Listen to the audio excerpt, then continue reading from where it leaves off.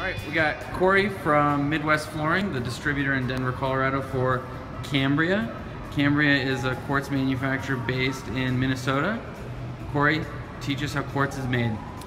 Well, I like to compare it to making cookies. If you can uh, imagine you making cookies or watching your mom make cookies, the first step for any quartz manufacturer is to create their recipe.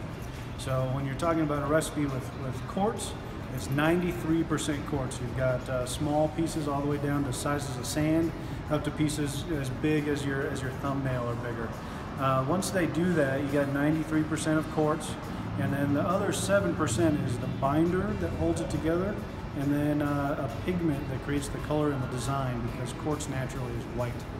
So if you can imagine a monster mixer, uh, you know, the small one for your cookies, obviously this one's as big as a building. Uh, they put that formula in there for that design, and once they mix all that up, it comes out of that mixer looking like wet gravel.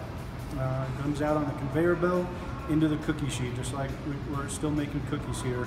Once you get that into the cookie sheet, they fill the entire cookie sheet with their with their cookie dough, or obviously their quartz uh, recipe in this case, and it gets shaken until all of the quartz flattens out.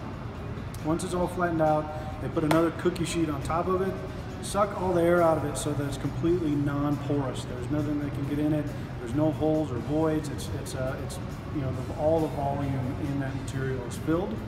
And then just like cookies, once again, you put it in the oven, and when it comes out, you end up with a piece of quartz that uh, looks a lot like this. It's, it's uh, just like normal quartz, but uh, there's no shine to it yet. So the last piece of that is that they take a huge disc that's shaped like a horseshoe that has diamond bits on it, and it rubs on the surface of the slab to make it shiny. Uh, Corey, what makes Cambria different from other quartz manufacturers? What's really neat about Cambria is first off, it's owned by the Davis family, so it's a family-owned business. Uh, the Davis family has owned Davisco or Davisco for years, and uh, Davisco you probably haven't heard of, but owns all the dairies, owns uh, all of the cheese making process uh, in Minnesota, and uh, they actually make 90% of all the cheese for Kraft. So more than likely, you've already bought a product from them, you just didn't know it. Um, what was really neat is that all the big manufacturers use this, the same manufacturer to make their quartz. It's called Brenton. And uh, Cambria was able to move away from that Brenton technology and use the cheese mixing process uh, to mix their quartz. What's really neat about that is that they uh, revolutionized the quartz industry from being a speckly, boring product to designs like you can see behind me that have all kinds of movement and are really unique. All right, what else makes Cambria unique? Uh, a couple other things, obviously the style and design with that technology that we talked about, but also that every single design that Cambria has is all the same price and that uh, they're working through their current inventory, but every single slab is going to be offered only in a jumbo size, so you don't have to worry about big islands or anything anymore. They come 132 long by 65 and a half inches deep. Those are huge slabs. It's it's uh, been a right. revolutionary thing for the industry. Down here, massive slabs. Corey, what are questions people often ask you about Cambria?